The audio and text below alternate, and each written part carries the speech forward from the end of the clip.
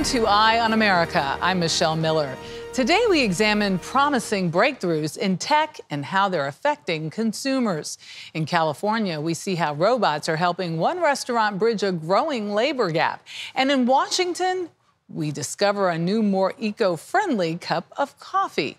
But we begin with a problem facing many electric car drivers too few reliable charging stations. David Schechter heads to California, the state with the most EVs, to see how motorists are managing the issue. When you're in California doing a story about electric cars, you got to rent an electric car, go for a cruise.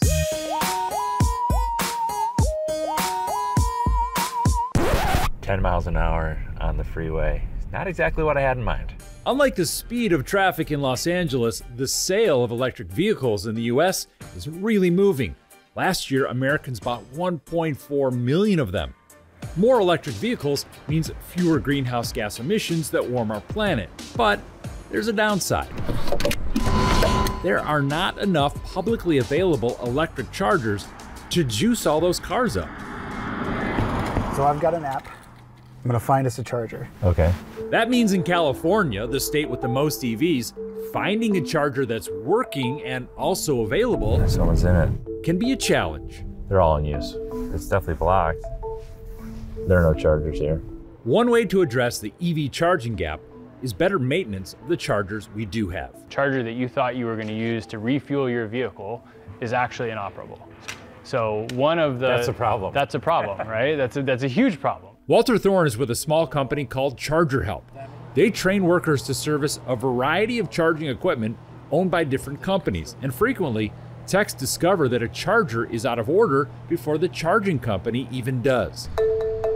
The pain is real. JD Power found 35% of EV drivers in Miami had visited a charger where they were unable to actually charge.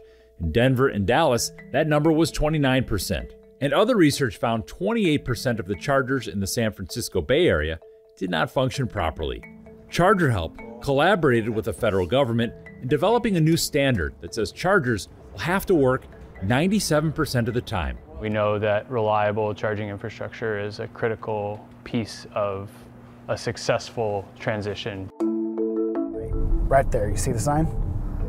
I'm on the map, but it's not on the map. Losing a little bit of patience right now. Two years ago, federal lawmakers approved $5 billion to spur the construction of a national network of 500,000 publicly available electric charging ports by 2030. That would help fill the gap, but since the law passed, there's been a lot of plans, but few chargers. Hey, how's it going? Hi, how are you? Melissa Lott is an energy policy expert at Columbia University. So you can't just put a charger anywhere. You have to pick certain places and make sure the infrastructure behind it, all the stuff that's invisible to us on the day to day, is actually there and ready to go. And that takes time. To keep up with growing EV sales, experts estimate, in addition to all the private chargers at homes and offices, the US will need 1.2 million publicly accessible chargers by 2030. Today, there are about 160,000, which means we'll have to build the equivalent of what we have right now every year for the next six years.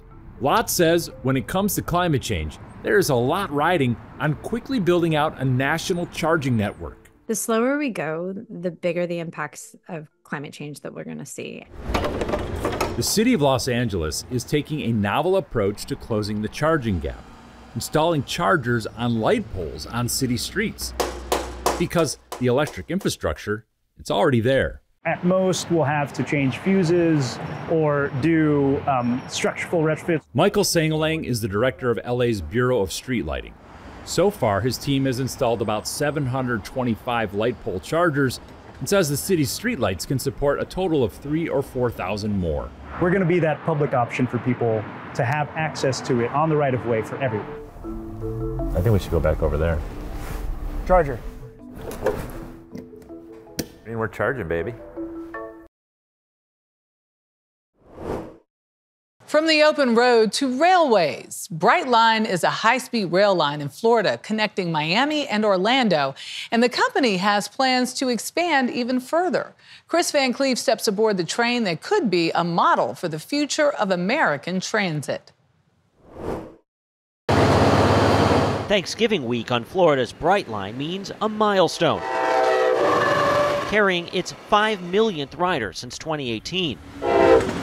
Trains that can hit a top speed of 125 miles an hour have seen ridership jump 116% this year, and the company expects to carry 4.3 million passengers annually between South Florida and Orlando by 2025. It actually feels like Europe. Jack Fernandez takes it monthly between Palm Beach and Miami and says he'll never make that drive again. You can get work done, you can make phone calls, you don't have to worry about the stress of having accidents in front of you and the uncertainty. While the cost for public projects like California's high speed rail have ballooned and are years behind schedule, Brightline built its initial service between West Palm and Miami in about four years on an existing freight line. Its newly opened second phase to Orlando runs along an expressway, which sped up permitting and construction. It will eventually extend all the way to Tampa. The company also has a near shovel ready project running along Interstate 15 to link the Los Angeles area with Las Vegas, a $12 billion effort that could be ready in as little as four years. We're in the pay for it part, but we're very, very optimistic that we'll be in a good place on that by the end of the year. Brightline Chairman Wes Edens. Is there a world where the U.S. gets true high speed rail? The world's going to get true high speed rail with our Vegas project, 100%. So the, we think the trains will actually go in excess of 200 miles an hour. It's less a question of exactly the speed, it's more the time savings. There's no doubt that there are many, many corridors in the United States that would fit this bill where you're going to save people a considerable amount of time. So, how much time do you save me if I go Brightline to Orlando from Miami? We think on average between one to two hours. Transit experts point to success in Europe and Asia as proof that high speed rail can be successful, linking cities that are about 150 to 400 miles apart. But those projects will require significant public funding. We will never see high speed rail without substantial public investment to build it, and we will never see it without a substantial public commitment to operate it. The bipartisan infrastructure bill set aside $66 billion for rail. We're putting our money where our mouth is, but when uh, private enterprise can play a big role in it, then those taxpayer dollars go that much further. While the nation's fastest trains lag behind those in Europe, Acela moves about 100,000 people daily between Washington, D.C., New York, and Boston. Amtrak's long term plan, if fully funded, would look to add similar higher speed corridors throughout the country by 2035. Traveling public really needs to see how promising rail is before they get excited about additional markets. They need to see more examples than the Acela. Yeah, so then we'll be able to see markets beyond that as well. They run about 100,000. Amtrak President Roger Harris. It's not just about distance, it's really about congestion because people don't want to be frustrated sitting in their car all day. Coming up, would you eat a meal cooked by a robot? This is Eye on America.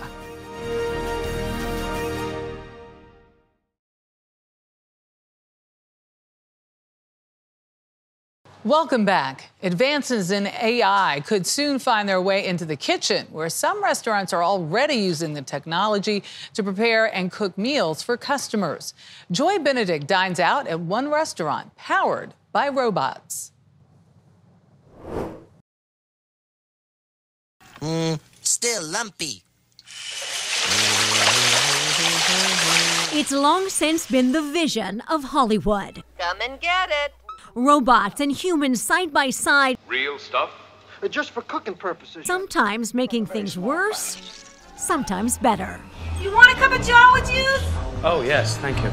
But now, in the suburbs not far from Tinseltown, the dream of an AI restaurant is already cooking.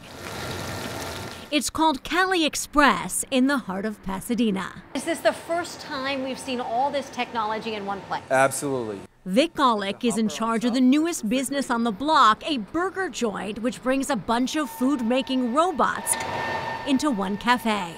For this burger, it would take about 120 seconds. There's a grill robot by Kachina and Flippy by Miso Robotics frying everything else. No human chefs needed. We can't get enough people to come out to work on fryers and, and grills and their dangerous jobs. And this uh, automation helps solve a lot of those issues that we're having. But inventors say the use of these robots isn't a true technology takeover. It's intended to help humans. I love the way, and I think a lot about how technology can work with people to make uh, people's lives better. Rob Anderson is a co-founder of Miso Robotics, which started working on Flippy, the fry maker, six years ago. I mean, this is your baby. Yeah? Oh, it's super cool. The machine is already at work in some restaurants like White Castle and Jack in the Box. Flippy's really good at doing repetitive tasks, which is just operating the fryer in those dangerous environments. And that way, the people uh, who work in the restaurant can focus on those human elements. Is it costing people their jobs? That's uh, not what we've seen. Um, uh, it's really here to, to help people. Flippy can make 250 pounds of french fries an hour. The Burger Bot, 100 patties, all without needing a break or a day off like its human counterparts. These restaurants are very, very busy at peak times, and every second that gets added to somebody waiting in the drive through is, is a lost revenue opportunity for that restaurant. But it's not just tech chefs. A cheeseburger. The ordering system is powered by artificial intelligence too, using facial recognition software. I don't want things looking at my face or getting my fingerprints. Like, should I be scared of these things? Uh, we don't think so. So we, uh, we're very clear on the point that we're not doing any kind of surveillance. Every single time our cameras are going live and recognizing the user in the US, uh, you're always tapping a button or you're asking somebody to scan your face. And there will be humans here too, putting the finishing touches on your meal. But Cali Express plans on only staffing two back of the house employees, a fraction of what it would take to run a non automated kitchen. This is the start of a revolution that's happening on the restaurant side. Dan Ives is an analyst for Wedbush Securities. Statistics show that 62% of restaurants report being understaffed, and 82% of restaurant jobs could be handled by robotics. We expect uh, by 2025 that we're probably going to have one to 200 restaurants that'll be primarily AI focused. And in a state where the minimum wage for most fast food workers will soon be $20 an hour, less people to pay can be a bonus for businesses. Once the minimum wage went to 20, that's the bell going off. More and more focus on spending on AI. Because look, that's inflationary. That's the problem. You can't necessarily pass all that to the consumer. It does reduce some jobs, but there's so many more jobs that are created with the technology as well as maintaining this technology. In fact, these robots at Cali Express are rented as technicians watch Flippy all the time through cameras. Truth is, I can't get my phone to work probably half the time. Yeah. What happens if Flippy flips out? If for any reason there is Flippy's not working, they can kind of flip the barrier up and just cook manually uh, as they would normally. And as for taste, is it going to affect the quality and the taste? I would say yes, in a good way, because now each burger is being cooked precisely the same way every time. Only time will tell whether robots take over all kitchens, but watching the first of its kind come to life is a tasty technical treat and another AI debate worth chewing on. Good.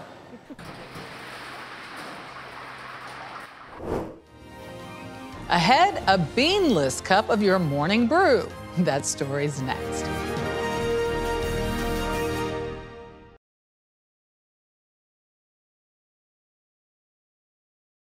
We close our show with an effort to make coffee greener. One startup has developed a cup of joe they say can offset the environmental impact of growing coffee beans.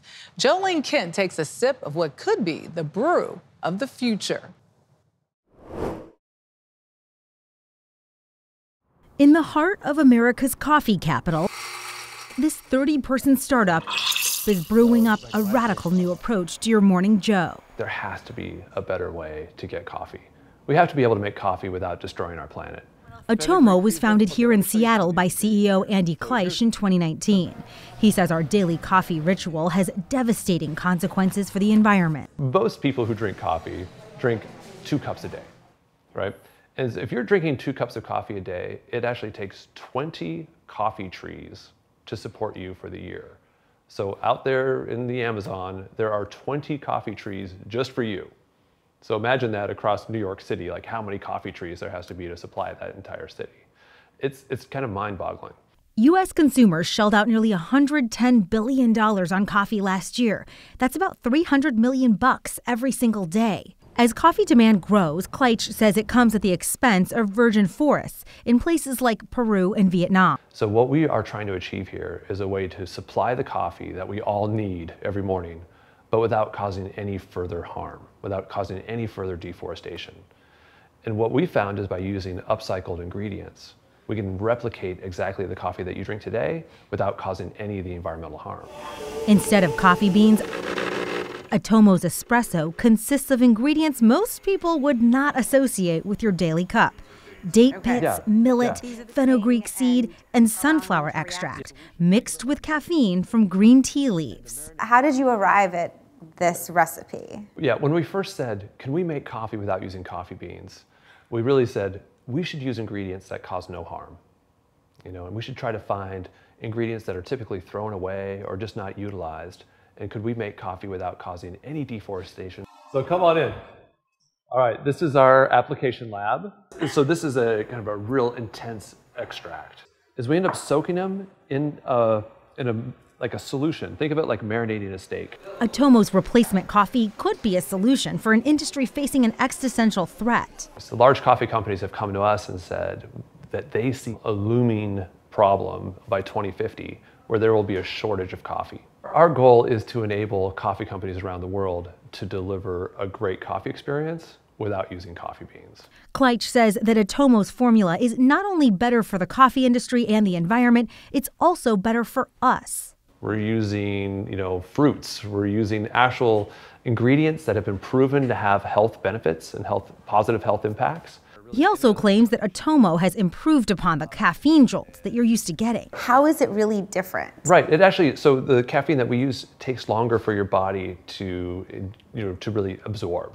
And so that creates a, a longer period of, of heightening and then a slower decline as well. Inside the lab, the moment of truth. It's a, Atomo latte uh, with oat milk. Enjoy. Cheers.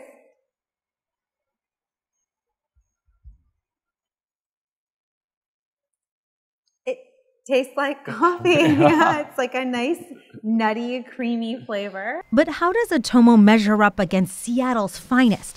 Across town, we met up with Sam Spillman. She's the 2019 U.S. Barista Champion and a coffee industry veteran.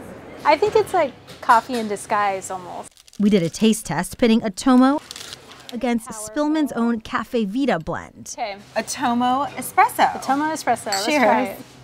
The taste, it's like chocolatey. You get some like graham cracker in there, some kind of acidity notes like a tart cherry, um, but it's not coffee. It's it's just a different thing. Could it become that? I could see this becoming more like coffee. It might not be ready to replace Caffe Vita's own gourmet coffee just yet, but it could be a viable alternative to big chain brands or to that bag of beans you're picking up at the grocery store. If you were to rate this latte 1 to 10, I think like six and a half to eight, depending on the milk that's being served with it.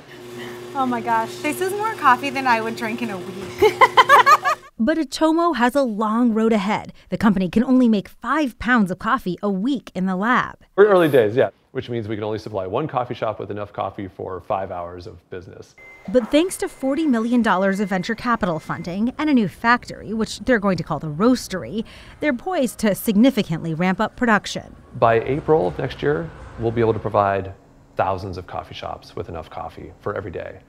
And then about two years after that, we should be able to supply a billion cups of coffee. Those billion cups representing untold acres of forests that would otherwise be chopped down for our morning coffee fix.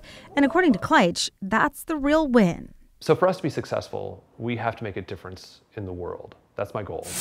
Atomo is on a path to disruption, and if the company can scale up, it has grounds for real success. For more stories like these and live coverage of breaking news 24 7, stream us right here on CBS News. I'm Michelle Miller. Thank you for watching Eye on America.